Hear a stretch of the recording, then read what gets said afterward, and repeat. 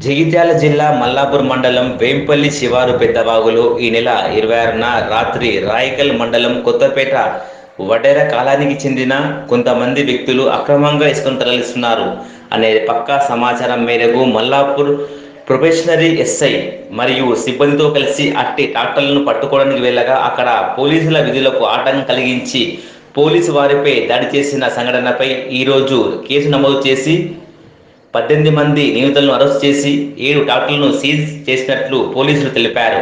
అదేవిధంగా మిగతా నేరస్తులను కూడా అతి త్వరలో పట్టుకొని రిమాండ్కు తరలిస్తామని అన్నారు. ఈ సందర్భంగా మెట్పల్లి సీఏ శ్రీనివాస్ మాట్లాడుతూ అక్రమ ఇసుక రవాణా ఎవరు చేసినా ఉపేక్షించేది లేదని అలాంటి వారిపై కఠిన చర్యలు తీసుకుంటామని హెచ్చరించారు.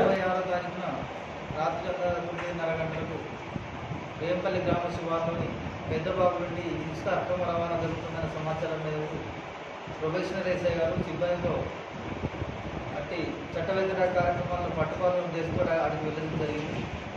ఆ క్రమంలో అక్కడ ఇసుక డాక్టర్లను పట్టుకునే క్రమంలో కొంతమంది పోలీసులపై తిరగబడి గలాట సృష్టించ సృష్టించి కొట్టడం జరిగింది. ఆ దా దాంట్లో ఆ సంఘటనలో ఇద్దరు కానిస్టేబుళ్ళకు స్వల్ప గాయాలైనాయి. ఆ తర్వాత వాళ్ళందరూ అక్కడి నుంచి పోయినారు. తర్వాత దాని మీద కేసు నమోదు చేసుకొని దర్యాప్తు చేసుకునే క్రమంలో ఈ నెల ఇరవై ఇరవై ఏడవ తారీఖున పది మంది నేరస్తులను అరెస్ట్ చేయడం జరిగింది. దాని ఆ సంఘటనలో ఇన్వాల్వ్ అయి ఉన్నటువంటి ఇంకా ఎనిమిది ఎనిమిది మంది నేరస్తుల్ని ఈరోజు అరెస్ట్ చేయడం జరుగుతుంది. దీనికి సంబంధించి ఇప్పటివరకు ఏడు డాక్టర్లని సీజ్ చేసి కోర్టులో డిపాజిట్ చేయడం జరుగుతుంది. అదేవిధంగా ఈ కేసు ఇంకా పరిశోధనలో ఉంది. మిగతా ఇంకా దీంట్లో ఇన్వాల్వ్ అయిన అందరినీ కూడా అరెస్ట్ చేసి చట్టం ముందు నిలబెట్టడం జరుగుతుంది.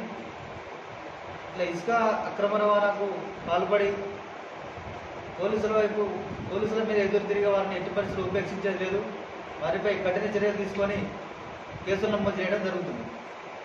మండలంలో మరియు చుట్టుపక్కల ప్రాంతంలో ఈ ఇసుక అక్రమ రవాణా చేసే ఎవరిని కూడా సహించేది లేదు.